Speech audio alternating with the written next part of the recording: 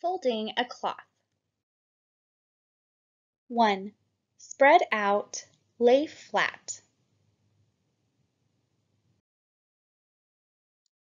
2. Match to other corners by pinching with fingers, lifting, and folding over.